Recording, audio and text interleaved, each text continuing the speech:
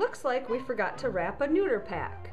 So the first thing you want to do is make sure you have all the required supplies for the pack that you're wrapping. Next, you want to make sure you have adequate tubing to put the tools in. By measuring it out, you want to have excess room on the ends so you can fold it. You want to make sure if you have sharp ends on your instruments to wrap them in the gauze that you have putting into your pack to make sure that it doesn't perforate the tube. Then, slide it into the tube. Careful not to rip the sides. Now you want to fold over the end and place a piece of autoclave indicator tape.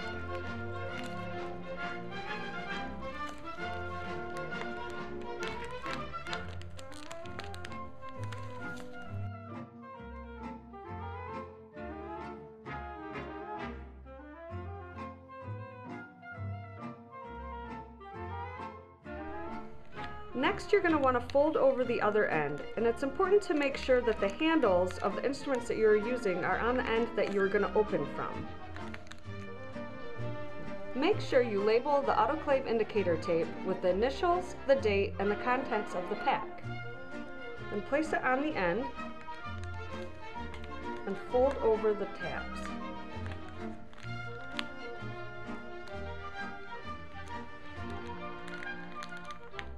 Make sure everything's sealed correctly. Now you are ready to autoclave. I'm ready to sterilize all this stuff. What do I do? Let me show you how to run the autoclave, Trisha. Well, you can't put all of that in the autoclave. Set that down. I'll show you what to do. The autoclave tray is only this big, so we can only fit so much stuff in.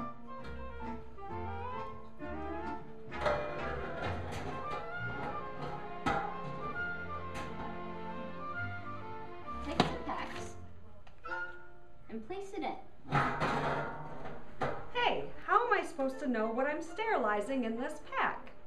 Well, packs should be properly labeled with autoclave tape.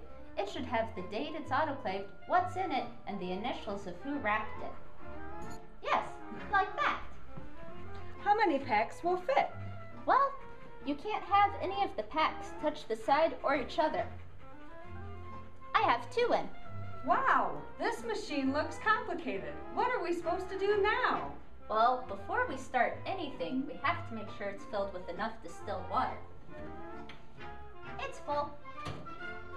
Then we're going to turn this knob here to fill. And make sure it doesn't go past the little knob in here. After it's filled to the metal tab, you close the door and you turn this dial here to sterilize. You don't need to touch this dial.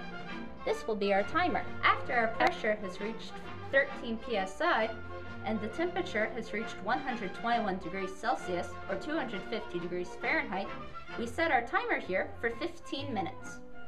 The timer just went off. Can I just open it up and No, grab no, the no. pack? First, you have to set the machine to vent. Then, crack the door, but stand back. It's really, really hot. Now that the autoclave is done running, we can take the packs out.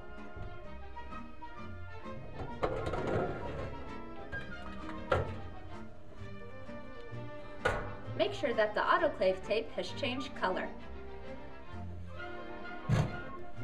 What am I supposed to do now that the packs are dry and sterile?